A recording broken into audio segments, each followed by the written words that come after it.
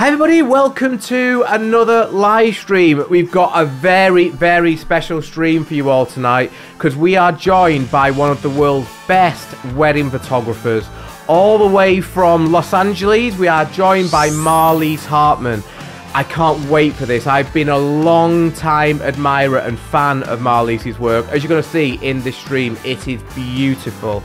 And what we're going to do, as always, for Flash Masters live streams, the first four images, so these images you've seen on the screen now, will all be free for you to watch on YouTube. And Marlies will very kindly be sharing how she created these images. And then the final four images, which are these photographs, will be for the Flash Masters members. So first four images for YouTube and the full stream will be available to watch in the Flash Masters community. So you just need to log on to the website in the member zone and then the full stream will be there.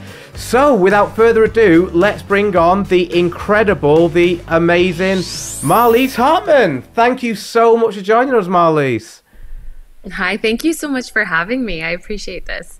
No, it's an absolute pleasure. As you know, I've, I've long loved your work. I was talking to Helen actually earlier, and I think you were the very, when I set up my Patreon, which is three and a half years ago now, you were the very first non UK photographer that I reached out to to to see if you would like to come on as a guest. Wow. When you're probably thinking who's this random person asking me to do this, and uh, and you said yes. So I'll always be grateful a for you coming on and b for your support at that time. Um, as I say, you were the first name that I I came I came up with. Think, oh, I'd love to get Marlies on and try and talk to her about how she created some of these images. So yeah, I've long loved your work, and it's been an honour as well to have you as part of the Flash Masters community. So so thank you for that. And so, before we get into everything, how's your, how's everything going for you, Marlies? How's your year going? Is it a busy one?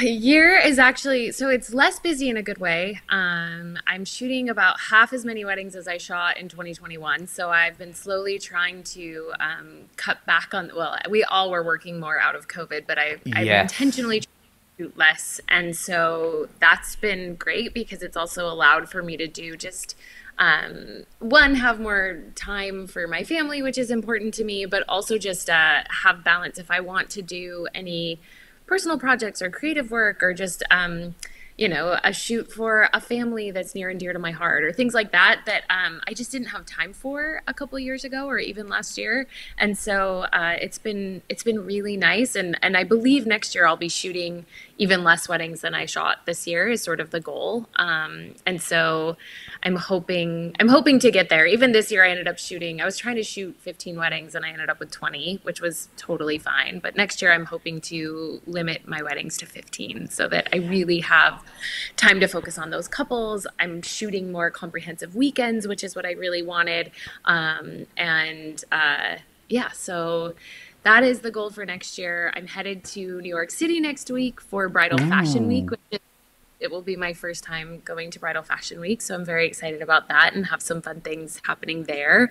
Um, and yeah, and I'm hoping in the future that there will be more uh, opportunity for me to do education content or mentoring or things like that. So that's love that. That's all kind of in the works as I'm um, making more space for those things it makes total sense. I can totally relate to that as well.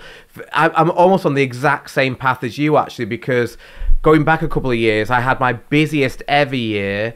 Uh, as, as, we came out of the pandemic, and for the first time, I don't mind admitting, I've said this before, but I was so busy that I wasn't enjoying my work for the first time ever.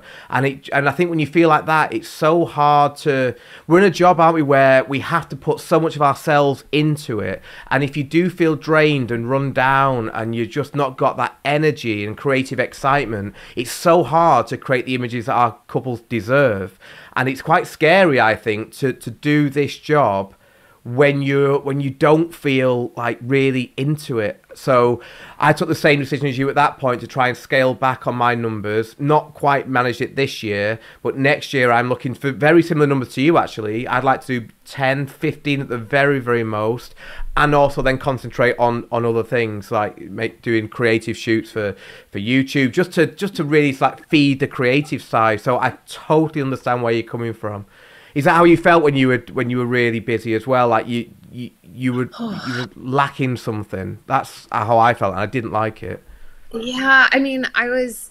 It was the the big wake up call for me was in 2021. I had a wedding in. Um, I had a, like a 14 hour Persian wedding here in LA. Wow. And then the next day, I just come off a three day Indian wedding, and then I had a Persian wedding. That was a long day, and you know how Indian weddings are, so it was like three really long days. And then I yes. flew to, I flew to Hawaii um, on like a Sunday so it was like Wednesday, Thursday, Friday, Indian wedding, Saturday, Persian wedding, Sunday, I flew to Hawaii. Monday, Tuesday, I had like this two day adventure elopement where I was like traveling around. Flew home Wednesday. Thursday, I flew to uh, oh, the no. East Coast. For, and in the middle of this, uh, my daughter was like, Mom, why do you have all these bug bites on your leg? And my leg was like itching me like crazy and kind of hurting. And I'm like, Oh my gosh, do we have bed bugs? Like, what's going on?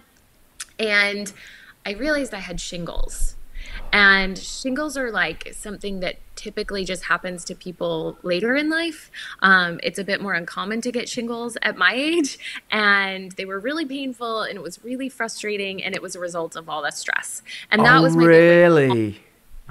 So for me, it was like I'm literally giving myself shingles from the amount of stress that I'm enduring this year from just working so much. And, and ev- coming out of COVID, so many of us were kind of at this mindset of it is the year of yes, right? So I'm yeah. not going to say no to anything. I'm going to make sure I just am shooting as much as possible, working as much as possible because things became more uncertain. And so uh, that was when I realized I have to cut back. I can't I can't sustain this. My body's literally telling me you have to slow down. And so so that was sort of when I started my slowdown for sure. Yeah, I, I feel for you. Uh, and isn't it funny how stress can people see stress as being a, like a mental issue, but it, it manifests in such physical ways. I've had I've not had shingles, thankfully, but I've had issues in the past which have been physical and were eventually traced down to being stress. It's crazy. So you've got to look after yourself. It sounds as well like obviously you're based in the US, whereas the big difference between the US and the UK obviously is its size. So although you know I'm maybe shooting was shooting a lot of weddings, at least I could go. I wasn't doing all that much traveling. It was rare that I would need to go away for a weekend. Say with your weddings, do you tend to be quite local to your area, or are you like you just described there, traveling all, all over? It sort of has depended on the year. So last year I was about 50 50 with a destination versus local. Yeah. Um, this year, funny enough, I'm much more local, which has also been nice. Um, yes. And local to. I was going to say, lo- your local and my local might be very different as well. Yes. I mean, we all love, like, there's one venue that's literally a mile from my house. And anytime I can shoot there, I absolutely love it because it's like I finish and I'm home five minutes later, right? As soon as we're done. So there's there's definitely something nice about shooting in your own backyard, but there's also something deeply inspirational when you have the opportunity to travel to a new place. And and anytime a couple's like, well, but have you shot here before? And I I tell them usually my best work comes from the first time that I've shot at a new venue. So because true. You're going to, yeah, and I actually try really hard not to look at other photos from from venues before I shoot there because I so badly don't want to just emulate what people have done there in the past and i want to make sure yeah. that my and and what results is then afterwards i'll go back and look at what other people have shot and i'm like oh i should have shot that or i should have shot there oh but wait i i now have given this couple something completely new that they maybe wouldn't have gotten if i had just been trying to go to the same spots right that everybody shoots at at a venue so yeah, I totally agree. But yet, the, the strange irony I always think is that couples often feel like if you've not shot at a venue, that's a massive disadvantage. I actually think the complete opposite, like you say. You, you have this like creative freedom, whereas you're not bogged down with thinking, oh, I've worked here lots so in the past, so I know that I go over there, then I'll do this, then I'll do this. Um, it's really, it's really, I think, exciting to work somewhere completely new, like an adventure but it's just a str- strange thing that couples see it the opposite. So, but no, totally understand. Um, yeah. So I'm pleased that you, your your plan though sounds really good, and I think you can achieve that. Balance is such an important thing, I think, and I'm sure when you get there, that yeah, everything will just fall into place. So, good luck though, because I imagine that's going to involve you turning away work, which is always the tricky thing, isn't it? We can always well, say, "Oh yeah, we're not going to take anything on," and then that inquiry comes in.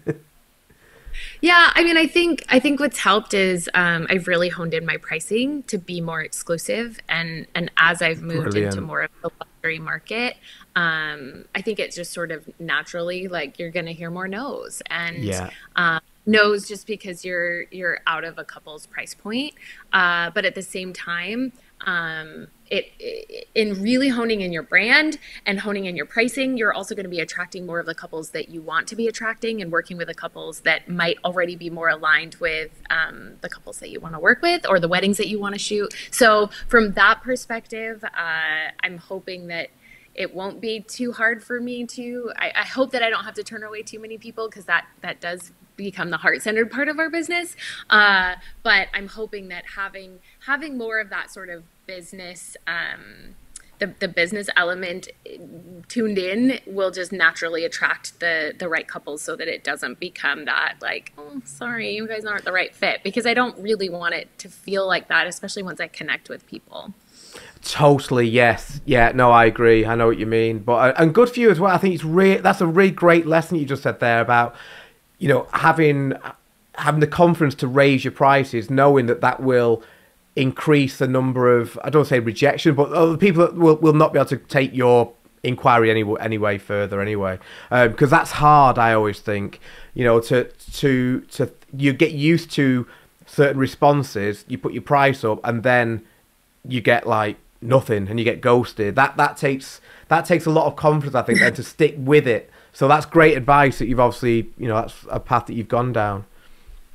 Yeah, and I mean with that with the the way pricing is such a tricky topic, right? Mm. Like we mm. could do a whole all just on pricing, but um and I know this isn't necessarily like where the business is, but I always say like without your business we can't make our art, so it's really important to me to always make sure that we're addressing the business side of things. But um with you, you have to be confident in the pricing that you present to people by knowing the value that you're able to offer. And for me, I mean, the the thing that I feel that I can offer very strongly is my ability to use Flash and bring those tools, especially in certain venues that might need it. Um, and it's just something that I might have that somebody else might not be able to offer. And I know that there's certain planners that specifically at certain venues will recommend me above other photographers because they know that I have that ability to work in darker spaces or work if you know we need to troubleshoot a situation. I know that I have that extra. Um, I have those extra tools that somebody else might not have. So it's it's just about bringing that value, and once you know your value, you're able to present your pricing um, and stand behind it with a confidence because you know what you have to offer to your couples or to to the planners. That's brilliant. Yeah, amen to that. That's that's really good advice, and and that's the great thing about Flash as well, isn't it? And having an understanding off camera lighting, it does give you that edge over the photographers, and I think we should always be very proud of that because it does mean that if you're faced with difficult conditions on a on a day on a wedding day, you can produce where maybe others struggle. So yeah, that's that's brilliant. Um, so with that being said, Marlies, we'll get into the images. Oh, just before we do, because we often get asked this question afterwards, and, and we never know the answer. Always the, the boring stock question. But what equipment do you take on a wedding day? What what cameras are you using, and, and what sort of in, in the bag? Just a quick overview before we get into yeah, the images. Yeah. So I shoot with two Canon R5s, um, but I usually typically just use one camera body. Um, my workhorse right now is the famous uh, Canon RF 2870 f2. Oh, that's the um, beast, the huge the beast. one. That's like going to the gym, isn't it? Yeah, we all say we're like, oh, I'm only shooting one body now, but it's like uh, one body that lens is like the same as carrying around two bodies all day. So. Um, I'll shift between that. I also really love the Sigma 24 to 35 f2. It's a Sigma art lens. Um, oh, I've so never even heard of that. 20. What was that I one know, again? Sorry. Sort of this like hidden gem of a lens that a lot of people don't know about. Um, but I love it if I think I'm going to need uh, something a little bit wider. So the 24 is usually about as wide as I will go for for most of the day, unless if I'm shooting dance floor or ballroom details, things like that, um, yeah. or if I'm doing that's like really sleek and sexy, sometimes that 16 to 35 can just show some of that like punchy drama. Um, uh, but yeah, so I do have a 16 to 35, which I will bring for dance floor. That's just the f4, um, and I love shooting dance floor at f4 or um, or higher. Yeah, just because I like to have more of a wiggle room in case if I miss focus. But I'll also shoot on that 24 to 35 sometimes. I'll just shoot some fun ambient shots, and I think it's become a little bit trendier. So the fact that I have a 24 prime, which is a Sigma Art 24 prime, which is 1.4, which if I really want to shoot wide open on like dance floor photos to get that ambient light, I'll use that lens. Um, I have the RF50 1.2 that I love. Nice. Uh, I have I have a macro 100. I have the 70 to 200. I have a Sigma Art 135, which is an f1.8, which I love. Uh, but lately, um, I would say my biggest the it's the 2870 that I have on my lens for most of the wedding day um, and then I'll shoot portraits mostly on the 50 uh, just depending where we are how much time we have all that. Um, but I know if I had to I could shoot portraits on that 2870 uh, for engagement shoots I don't use the 2870 at all. Um, I usually will be on a I have a Sigma Art 35 the 50 or the 85 or the one I usually use just primes at an engagement shoot so Cool. Oh, and Thank then for, you. For, yeah, for flash gear, um, I use all MagMod modifiers and I use Profoto flashes. Uh, and then, yeah, I mean, I have the, I have a B10 that I'll use once in a while um, that I borrow from a friend with the the Elinchrom, uh, which is this huge, you know, it kind of creates that almost like window, natural soft window oh, light. Oh, nice. That's so pretty. But in general, I'm using the MagBox if I want um, a softer light, or I'm using the MagSphere with a grid sometimes if I want it more concentrated. But yeah, yeah. so Profoto is my. I, I, switched over a few years ago, right before the pandemic, I believe. Was that was fr- just... from Godox, or were you using Canon? No, I'm like one of the few people that never used Godox. Like. I am so every it's so funny because I did a MagMod challenge and they had all Godox flash stuff and I was like, you didn't know what to do. and I was like, I don't know how to use this, but um, no, so I was using Canon Canon flashes, and then I switched from Canon over to Profoto, and it has been night and day difference for me in my ability to have my flashes work when I want them, how I want them.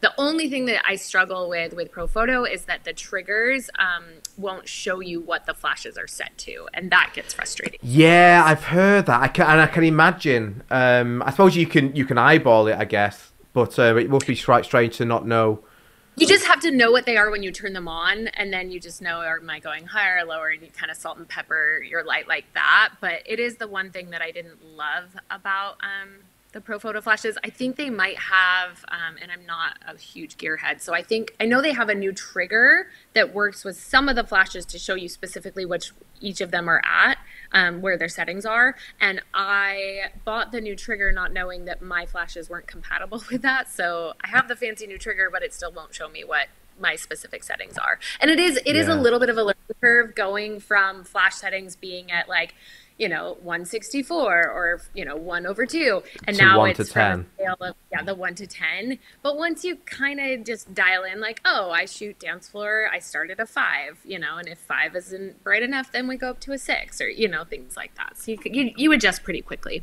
Yeah, yeah, but that that's cool. Um, we also, uh, not sure if you're aware, Marlies, but we recently announced that we're sponsored now by Canon. Canon UK, and thanks to Chuck in the comments who um, who helped with that. So yeah, we, we now applaud anyone who shoots Canon. That's amazing. Yeah, no, I've that... been Canon the beginning and it's just been the the camera system that I stick with but I mean gear questions are always so funny because it's I always say it's like asking a chef what oven do you cook with right like it's a tool but I mean the the magic is happening because of the chef not the not yes the again, I applaud that. it's just we people photographers always have this like, oh, what do you use? But ultimately, any camera I always think that's been made in the past five, ten years is going to be decent. You know, unless you know, no, no, excluding toy cameras, like anything reputable is going to be really good. Um, so it doesn't really matter, does it? But just that we no. just we just get asked all the time, what does that person use? What does that person shoot? And it's like, well, it doesn't really matter. But there we go. There you go, everyone. Marley shoots Canon, and, and, as I say, I've never used that lens, but I have seen it, the 2870, and um, yeah, having f2 all the way through, I must admit, is is pretty nice. Um, cool, thank you. Okay, so we'll get into the images then, and wow, I mean, the images you sent over are absolutely stunning. Uh, this first one, especially, it's like I looked at it, thought, I, I feel like I love it, and then the next feeling is just jealousy, thinking I wish this was mine. Um, I mean, what, what, how, how did this come about, Marlies? I mean, it's obviously stunning. Um, I imagine was this somewhere you, you saw this shot in your mind before you taken it? Yeah, so this was um we had done a sunrise shoot. So we had been up since Ooh. sunrise that day. And uh, we were, this was at a place called Mission Inn. Um, it's just outside of Los Angeles. And uh, I had brought my daughter with me. She oftentimes will work as my assistant, so she wasn't thrilled about waking up at sunrise. But we had to do that because we had to hike. We were hiking up to this sort of castle bridge thing at this place called Mount Rubidoux, and then after that, um, we came back and they changed. And uh, this was actually shot more in the middle of the day. I would say like afternoon ish. Um, so it wasn't as dark as it as it looks it looks almost like it was shot at night. And i wanted to shoot it at night but we didn't have that option just because of timing. And um, so i knew i wanted to do something with this sort of spiral staircase. It's it's something that's really iconic at this hotel. It has kind of right. this like beauty castle kind of uh, vibe to it. And um, I, I, always am trying to give something that is inclusive, I, environmental portraiture. So, environmental portraiture is something that I always try and include in each wedding day, um, each engagement shoot, because oftentimes the location is one of the biggest decisions that couples are making. And so, very good um, point. Yeah yeah so i really love incorporating the environment anytime i can and and i feel like if at least for the the things that i want to blow up and put in my house are usually um, i don't necessarily want to have a 24 by 36 of my giant face. But if it was like me in a certain place in a landscape, something like that, like I have a giant picture over our fireplace right here of my daughter, um, you know, looking out over into this valley and she's standing on this rock and it's a really wide shot. And so the beauty of it is showing the location and it's showing, um, you know, this, this gorgeous sunset and this beautiful light. And then she's in the shot, right? So uh, I'm always trying to, create something that I think they can blow up and put on their wall as wall art, and um, and it doesn't feel as um, self-absorbed as a shot of just like a giant face might feel. So, um, I mean, I think we took shots of them higher up on the on the staircase, and and I think I was like trying to I was trying to just make something work, and finally I had them go all the way to the bottom and I wanted it to almost feel kind of like a drone shot, but we didn't have a drone. And I had my daughter uh, take my flash and hide under that doorway. And we just kept cranking up the flash, cranking up the flash just so that I could kill as much ambient light as possible. Um, yes. And and then just had them, you know, I had them try doing some spins and things like that. But I think just just simply sort of having them hold hands walking towards the light, I think had the most the most impact. So that was yeah. that was the final delivered photo. Yeah, it's it's it's truly stunning. I mean, the, there's there's nothing not to like here. I mean, the composition is so so strong uh, that my eye goes straight to the couple because of the flash and the way that, that you know that they are in that real bright spot. So I go straight to them, and I also love how you have created that moment as well between them. It, it's like you've injected a uh, some movement as well, which just gives that the image just that extra that that that extra little cherry on the top, I think, and the separation because of the angle that you've used works so so well. I think if they were just together, it wouldn't have that same impact. But the fact that we can we can see them, uh, we can see that the, they're obviously holding hands, but there's also a nice distance between them, is really strong. They must have been over the moon when when they saw this. They definitely loved it. I mean, I'm always, I'm whenever I'm doing a creative shot like this, like I always um, hound. I always try and tell my daughter, not that she wants to be a photographer, but she doesn't really have a choice. I just try and teach her all the things. Is yeah, it's highlights on shadows or shadows on highlights, right? So if you want to create something that's going to have that drama or instantly sort of um, attract the eye, you're going to have to either find highlights and create shadow on those highlights or find shadow and create highlights, right? So it's it's shadows on highlights or highlights on shadows. So for that instance, what makes your eye go instantly to the couple is the fact that I've created this bright spot with the flash, and then they are now shadows on that highlight. And so, um, I mean, and you can see there's some dappled light on the side that I've burned down a bit and, and whatnot, just to help also just draw your eye into the couple themselves. And then having that separation also helps them take up more more space because if they I probably tried having them just in a more like belly to belly kind of like embrace each other, which I is my like default go to uh, pose with couples. But it it I think the separation definitely helped as well. Yeah, I, I think so. And and you've also definitely achieved what you mentioned before about trying to create wall art because this isn't it's obviously it is about the couple, but it's also very, very much an environmental portrait, as you mentioned. So it sort of takes away that that thing where people might think, "Oh, that's a bit egotistical." Put that on the wall. Like I'd put that on the wall. I don't even know the couple. It's absolutely beautiful. And, and I love the fact you say as well that it was actually taken not at night time because you would think that, and again, it's one of the huge advantages of off camera flash that we can change what the environment looks like to create something even more dramatic. That's a great advert for Flash. Really, really nice. Now, what, one thing I wanted to ask Marlies, because I, th- I think I know the answer to this, but I'm always a bit intrigued. Obviously, you've mentioned you had your daughter here helping you. Do you always have someone helping you, whether it's your daughter or somebody else, or do you sometimes shoot alone? to be completely honest, I usually have an assistant, and I, no, that's good. I'm, I'm, I'm, I'm yeah. jealous and think, why do I not do this? Because it must take so yeah, so I I decided on I, I remember it was one of my earlier weddings. I think it was 2017. And I left a shoot and I didn't have an assistant. And I uh, left, I think, two light stands and one of them had you know a really expensive ball head on it and there was a flash on one of them right? And so i left there and i ended up calling the venue and trying to get my stuff back and they're like oh it went to this person and that person. I never got it back. And that was when i realized the money that i lost that day just forgetting to put because i was so exhausted forgetting to put my gear back in my car was like I could have paid for an assistant for you know for for five weddings and so um that was when I realized I, I need to invest in an assistant as a form of insurance. And what I didn't realize was having that extra hand and that extra person makes such a difference in the work that you're able to produce that in turn you're able to charge more and then you're able to afford having your assistant with you. Yeah, and, great uh, point. Yeah, so that was that was something that I, I realized pretty early on that um and I, I usually work with a second shooter and an assistant so um, I don't want to have to worry about what my second shooter is shooting on the wedding day, but the assistant, I call them my wedding doula. So, and in, and in explaining it to my couples, I let them know um, they would help fluff a dress so that I don't have to, if I've got the composition lined up, I'm not putting it down.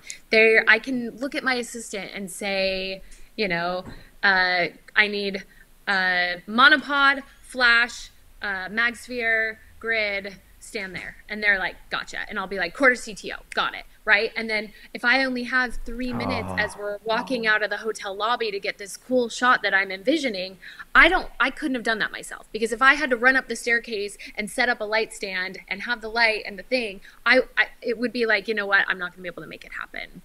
And so for me, having an assistant on the wedding day just frees me up to do so many things um, that I might not be able to do otherwise creatively. But it also just frees up your mental space. Just having someone else that is packing up your gear as you're running to the first look uh, so that you're not mentally having to think, did I get all my flashes and did I get all my lenses? Are they all packed back in my bag?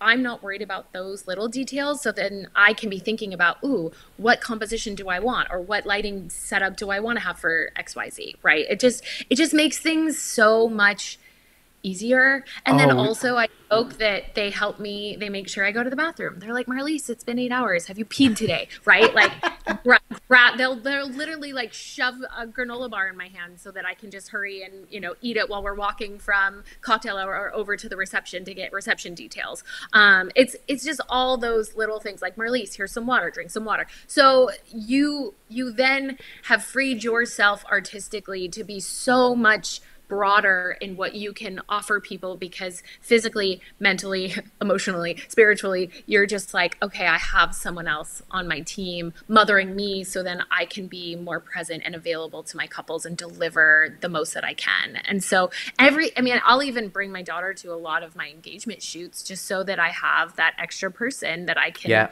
have me carry gear or if I need them to hold the light stand or just even noticing things. There's so many little details like like fixing a hair that might be like doing something strange, right? And I'm so busy worrying about the technical things that those just polishing up. It's like having an art director with you. Just have or or or something as simple as like fixing the bride's ring if her ring is falling. So um, Walt Disney always said uh, this this quote that I love and I tell people all the time um, that people can feel perfection and his whole thing was uh, when Walt Disney was creating the Tiki Room at Disneyland, which is this this animatronic room. There are these birds that come down and sing, and there's water, and it's this cute little show from from the very original vintage Disneyland. And he insisted that these anima- animatronic birds could breathe, and he wanted them as part of their animatronics. And the reason why he did that was because he said people can feel perfection.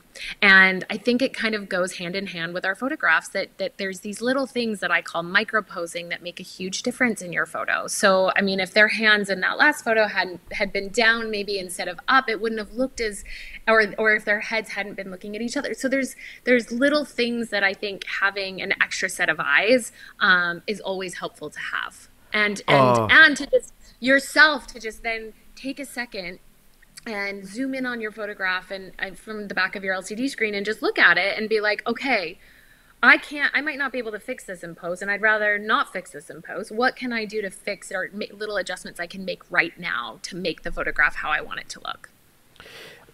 I, I can't thank you enough for that for the past few minutes what you said there because I think the way you've described your approach to shooting a wedding is so useful for us all to hear. And it's not like you said there, it's not just a question of having, because you're not talking about a second shooter here. You're talking about someone yeah. doing everything else, all those little things that take up so much mental bandwidth on a day. And how often I can relate exactly what you just said. You'll come back from a wedding day, you'll be looking through your images and you'll think, oh, if only I would have done that, or whatever, the tiniest little adjustment whether it like yeah. be maybe it be to the pose, to, to hair, to the background, whatever it will be, and think, oh, but I was so wrapped up in the technical, in making sure that I've got everything in, exposed correctly, that the flash is, is hitting everything like that, that you don't sometimes see what's quite obvious only when you're looking back. Whereas, like you say, if you've got somebody else who's not quite, who's not got the pressure of getting the camera in the hand, but is just seeing things with their own eyes and think, oh, why don't we just do this? You think, oh, thank you that's so worthwhile, so so worthwhile. And I totally agree as well. Like you say, that's going to improve your work, so you can charge more. You're offering a better service, so the cost is covered as well.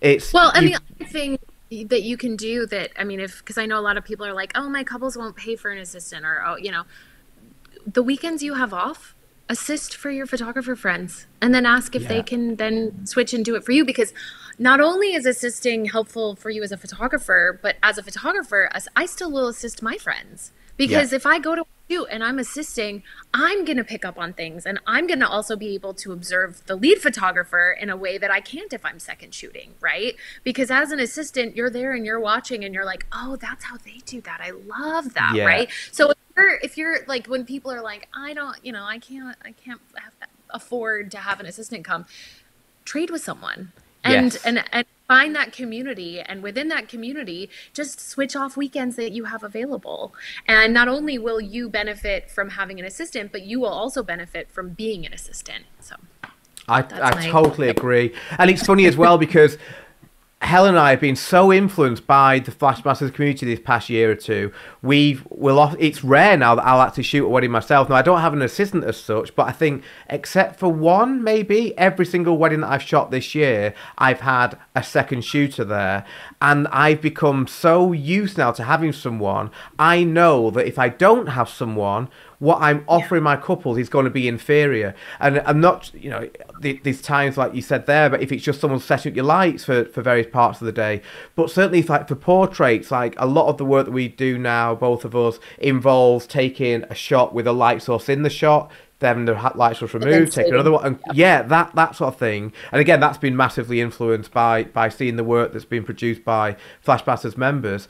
But having nobody there, and I'm thinking a couple of years ago, I would have had a light stand there. I would have took one shot. I would have then got, well, maybe I would have had a tripod, but very rarely. What I'd usually do is just not have the light source in. But that means that the light quality is not going to be quite as good. So uh, there was a compromise there. But th- doing it this way, it's really addictive and it's quick, isn't it? You you you know that you're going to be able to get double the amount of shots almost in the same amount of time because you can think I don't need to mess about too much, and that person knows what I want as well. So you don't need to even explain that much. A lot of it can be almost like telepathic, and it's it's got to a stage now where if I've not got somebody with me, it's like. I'm going to ask someone, just get someone because I, I don't want to shoot it on my own now because I know I can't offer the same product. So I totally agree. And I think what you've done is take it one step further, which is what I would love to do in the future, and actually have a dedicated assistant who is doing all the other things. Because it's a bit like I suppose it's like playing golf, isn't it? Having a caddy. So so you're just concentrating on the on the shooting, but every the other person's just taking care of the other things, which is actually quite a lot like the, when you think about it just the, checking the timeline making sure that you've got everything making sure that you've not missed anything out with your group shots and things like that. It's it's huge.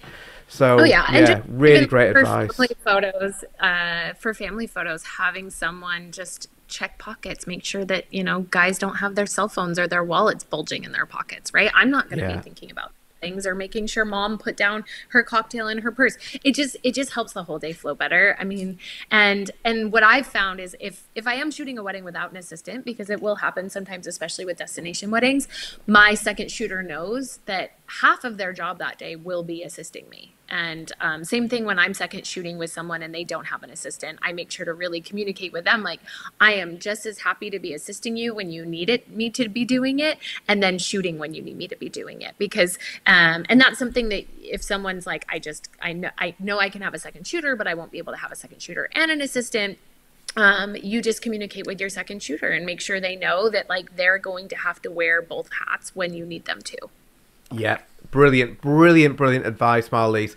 Couple of things. One, can I just out of interest, can I just ask everyone in the comments just to either put in solo or team, just to let me just out of interest see those that are watching. And thank you so much for everyone who's tuned in. Um, just let us know whether you do whether you work on your own at weddings or whether you have an assistant or a second shooter. To be curious. And also the the big question that Chuck's asked Marlies. Um, does your daughter get paid? oh, it's the wrong. one. I've said the wrong one.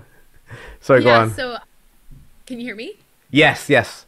Oh, okay. Uh, yes, she does. I do pay her. So um, the bonus of this, she's 14 now, but during COVID, I started having her assist because we were all keeping our bubble so small. And uh, and what's nice is not only do I pay her, but now she has money, and so anytime she wants something, it's like, well, would you like to use your money for that? So th- she's not only learning how to assist and how to have a job and how to be professional in front of clients, but then she's also learning money management. So it's it's a win in a lot of ways. Yeah, definitely, definitely. Do you think she will? Uh, we're going off all tangents here. Do you think she will end up wanting to be a photographer? No. Not for her. I don't. No, I mean, I think she enjoys um, elements of it. Uh, she enjoys the creativity of it. She enjoys the fact that we do get to travel a lot, which, um, you know, is not a bad thing. But she also, uh, I think she will forever associate mom working with with a camera. I get and that. so even yeah, even when we go on vacation, she'll be like, "But are you bringing your camera?" Because to her, it's not a real vacation if I'm bringing a camera. So, yeah, um, I think because of that, but you never know. I mean, I think there's so many things that she's learned from it, and she'll even like we'll be watching a movie. We're big movie watchers, and she'll she'll pause it and say, "Mom, look at this composition," or "Look oh, at that." Oh, love that! Oh, that one makes yeah. you feel so proud. Oh, I know. Yeah. So, I mean, she's she's very creative. She's into um, theater. is her is her big love, which we share. Uh, and so, um, I know that what she's learning and what she's benefiting from by by working with me, or just being around a single mom who's running a business, um, is is only beneficial to her. I would imagine. Oh, totally. Yeah. Oh, you're an amazing role model. Obviously, yeah. And she will be picking up so much. Um, and like you say, you never know. You never know it'll be interesting to see what path she does take. Okay, yeah. right. Okay, well, I've just seen the time. Sorry, Molly, I'm taking up so much of your time here. I could talk to you all day about this. It, this is oh, gold. Everything you're sharing. So we'll move on to to image two now. We've actually got some behind the scenes, so this is not the final image here. I thought before we show the final image, it'd just be interesting just to hear maybe if I could ask you about your thought process of what you were trying to achieve before, because for anybody that's already seen the end result of this image, it is stunning. But what what what are you what are you thinking at this point, Marlies? This is more or less natural light, I assume, what we're seeing here. Yes. So this is a raw file just out of camera, natural light, and um, this is a wedding in Guadalajara, Mexico, and this was the the entrance to the venue. And when we drove down it, I said, "Well, ten out of ten, I'm going to try and take a shot here at some point." And we had just uh, finished family photos. The ceremony ran really long, so of course we didn't have any sunset, which was really sad and disappointing. So I said, let's still try and make them something beautiful and so I put them, you know, this is very classic. Center point focus seems to be my jam. Uh, it's like, boom, here's the couple, here's the photo. I just think it has really strong impact um, and it tends to be my go to.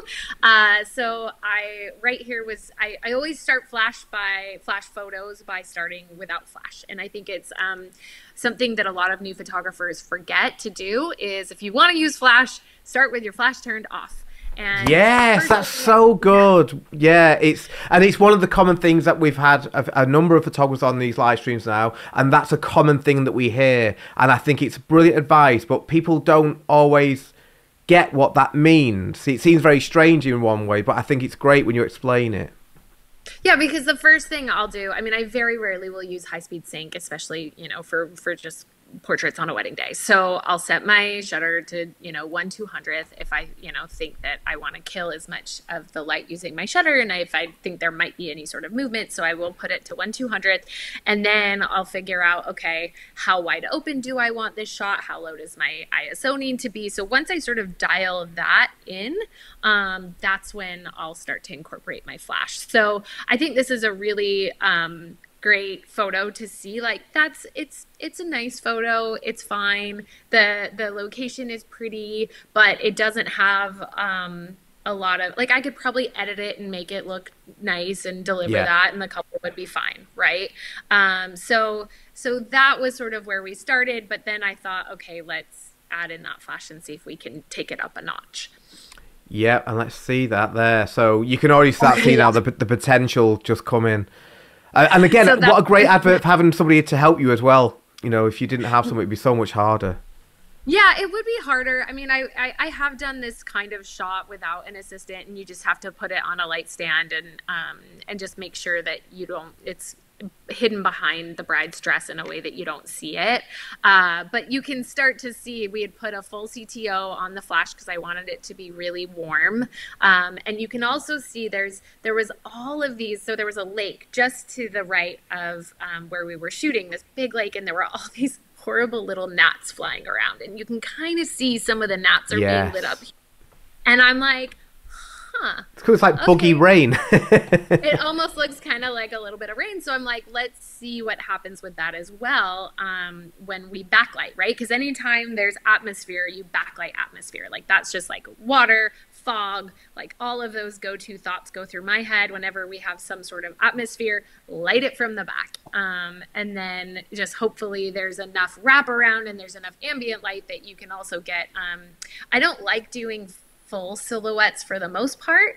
Uh, somebody once called it some sort of like mid silhouette, right? So um, where I still like some enough enough detail in the front that it's not just like a full watch. Now we probably have a full silhouette photo somewhere buried in that we're to talk about. But and I do do them, but it's just in general. I like to also have some detail in the front as well. So I like when there's enough ambient light that you know I can I can create this this punch of backlight, but that you still have detail in the front.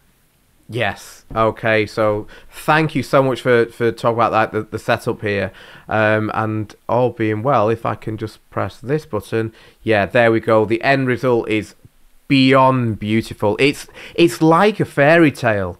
It's absolutely amazing.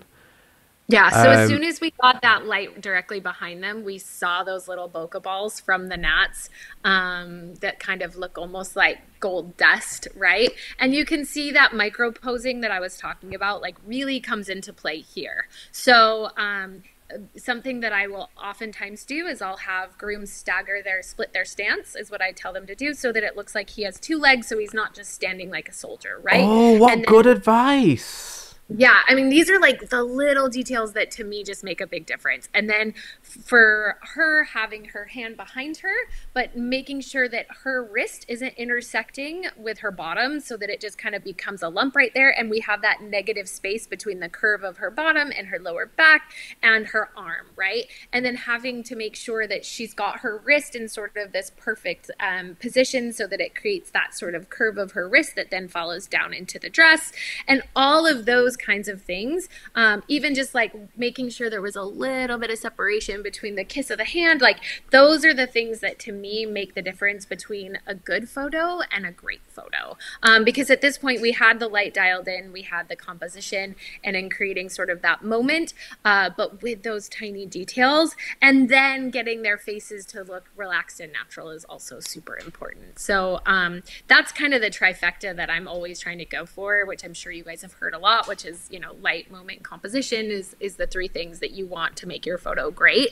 Uh, and so usually composition and light are the first two that you're trying to dial in and then getting that moment. And and to me what is encompassed with the moment is um, that that micro posing those little things and making sure it's really important to me that none of the the bulb of the flash is in the photo is actually coming in. So that's something that um, i've noticed a lot and it's something that i did more in the beginning is i would have a little bit of flash coming through and you see that sort of hard light and to me it's almost like a magician showing their trick and um, by showing that hard flash in between them unless if you're intentionally doing it uh, it, it makes such a difference and it's so easy to just it's not easy it's actually a pain in the butt but you've got to make sure that that flash bulb is completely covered so you're just getting the, the flare of the light yeah, on uh, what you've just uh, spoke to about there for the past two three minutes, Marlies, is absolute gold and worth this this stream alone. Like it is,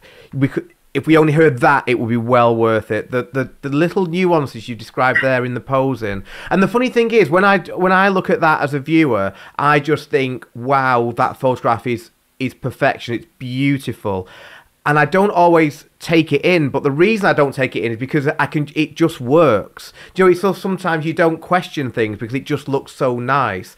But when you actually do break it down, you think actually there's a lot going on there that you've you put into that. But it doesn't feel forced in any way whatsoever. But if I was to picture that photograph without those little nuances, it yeah. it would it wouldn't be as strong. So it's so invaluable what you just said there, and again, like the, the past two or three minutes, I, I'm going to try and like say that into my own brain because some of those tips are so useful. Like you're saying about asking the groom just to stand so we can see the separation in his legs. I've never once done that, but what a difference it makes. Um, yeah, like the pose of the hands and and like you say, the gap between her wrist, even the way that the, her wrist is flicked, is is stunning. Yeah. It's, yeah. It's, well, and then what you don't see is I'm laying on the ground here. love it. Love that. Collecting all the bugs and the twigs and things like that because I knew that it was worth the shot. So. Oh, honestly, it's so worth it. Um, and just looking at some of the comments we've had here, um, Jesse, this is epic. Helen, magic. Holy crap, this is freaking awesome. Uh, damn, that posing is ridiculously good. Wow, wow, with lots of W's. Um, this is so good amazing. Chuck, who else now feels totally nervous for Marlies being the judge for this round? Very good point.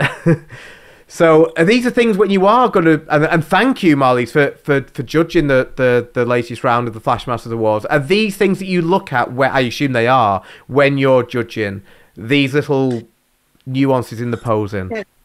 Gosh, um, I mean, I guess it's one of those things that if a if a photo's really good, like I think we've all established this, if a photo's really good, like all those things might not matter, right? So at the end of the day, like if you just have a photo that is a 10 out of 10, like those other little things might not be as important but um i mean for me it's like how much when when i've judged in the past it's like how much impact does this photo have on me right away is it an emotional yes. impact is it is it impact from right? Is it impact from the moment? Is it impact from the lighting? Is it impact from the composition?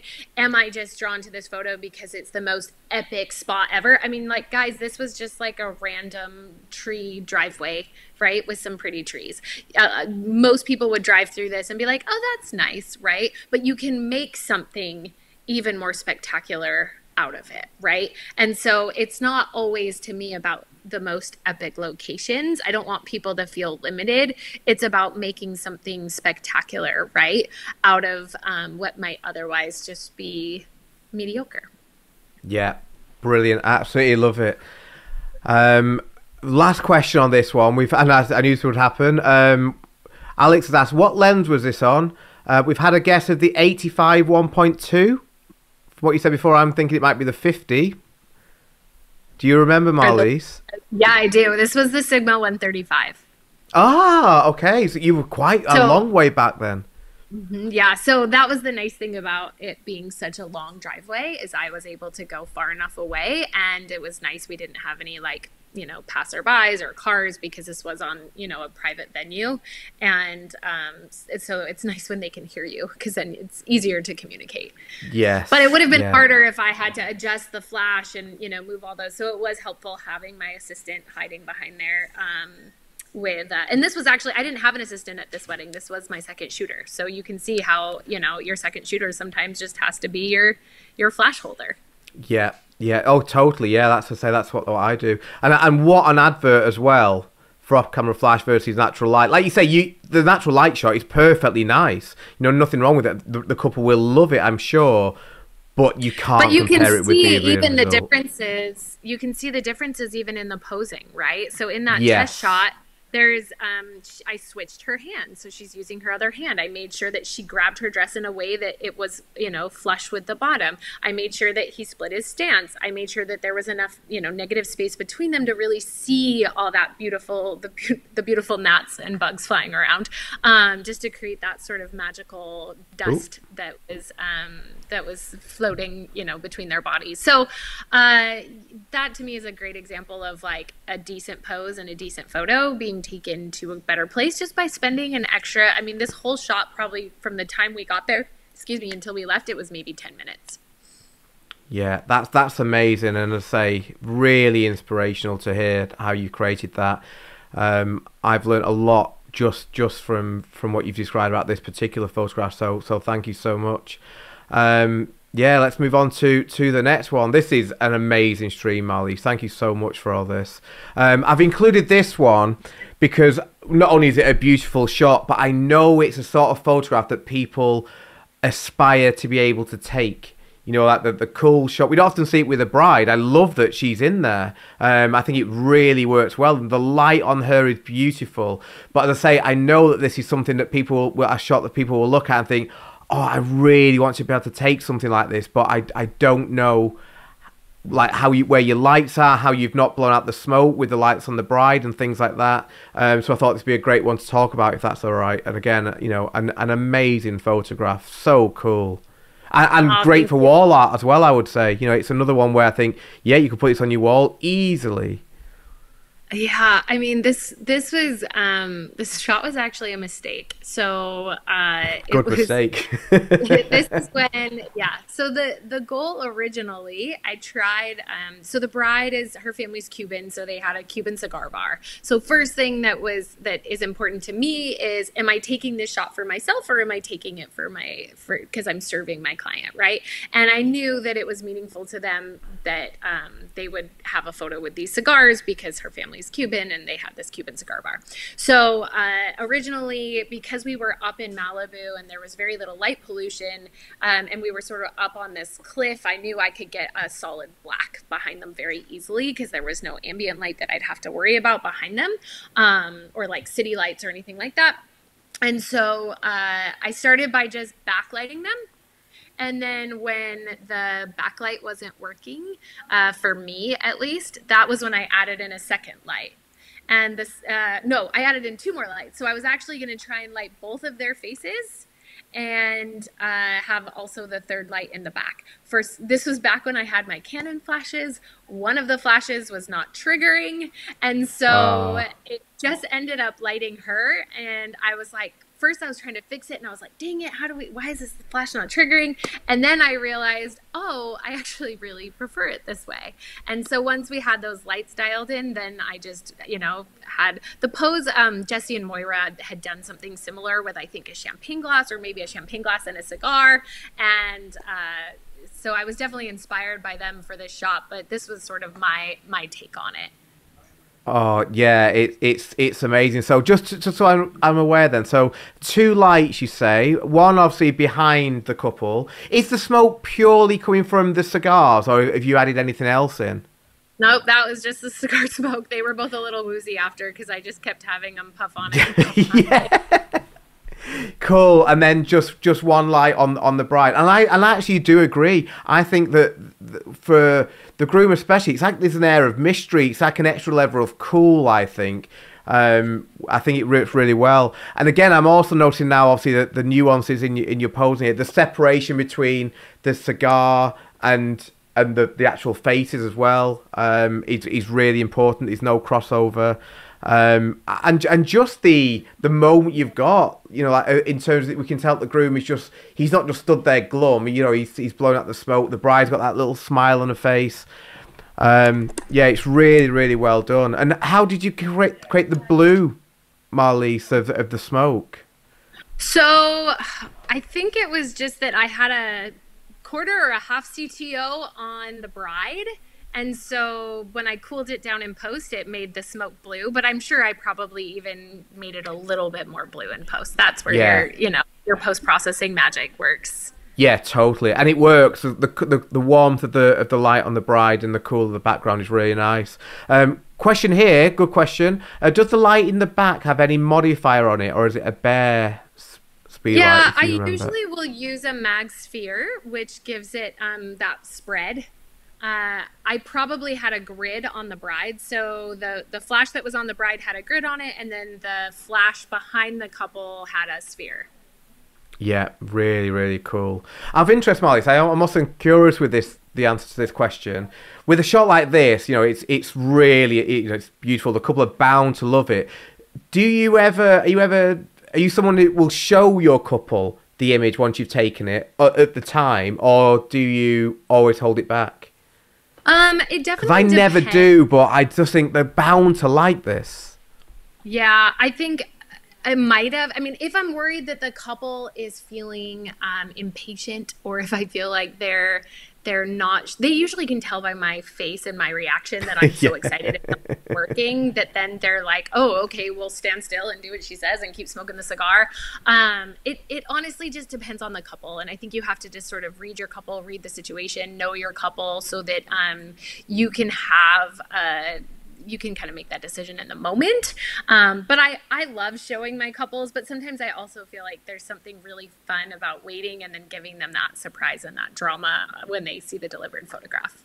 Totally, yes, yeah. As I say, I, I, I don't, because um, I always think, oh, if, if even if I like it, if they don't and I, I lose them, then that'll be awful. But I, I just think with certain photographs, you think they're bound to like that, so it can really like then then give them so much like excitement on the day and and they're going to be really up for whatever you suggest to them. If you do do it. it just always feels a bit risky but i just thought with a shot like that you're not going to get that wrong because they're, they're bound to like it.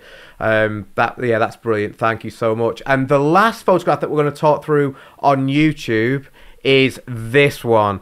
And again it's just one of those that you just look at and think oh i give up. That's just insanely good um, it, it's just one of those that you look at it and it has so much immediate impact, so much like visual impact. As soon as you see it within a split second, it's absolutely amazing. Um, I love the atmosphere in this.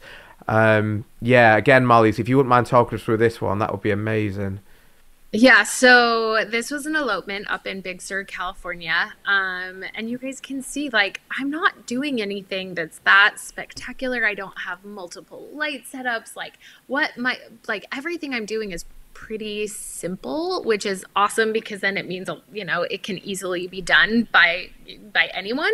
Uh, we were supposed to do a star shot that night. And at the end of, the um, at the end of the night we had gone to you know this restaurant where they had dinner with their friends and the the plan was we're gonna go take this gorgeous star shot because there's zero light pollution up in Big Sur. It's a beautiful place. It's probably my favorite place in the 48 United States for sure. Um, is Big Sur, and as we're as we leave the restaurant, we realize uh, there's no way we're gonna get a star shot, guys. Like it's it's completely foggy, and we're driving back to the hotel where we're all staying. And as we're driving, I I see this little path and um, I see sort of these trees, and I was like, "Oh man, that that could be really cool."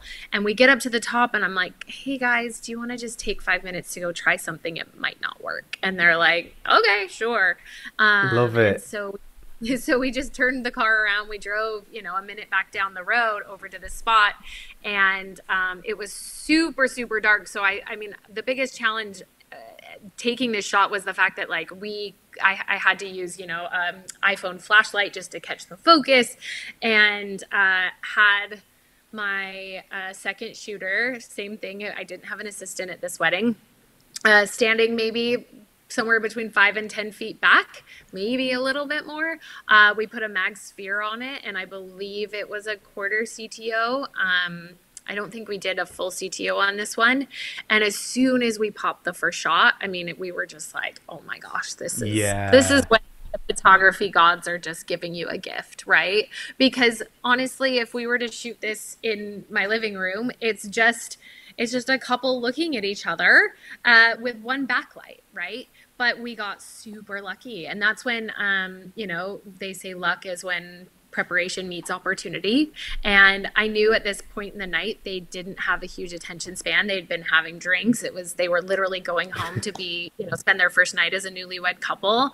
And I had to just be fast and furious and get the shot. And I knew it was worth it for them a hundred million percent. But I mean it's it's literally pretty much the same concept as the as the photo with uh with the uh, same thing. You just backlight atmosphere.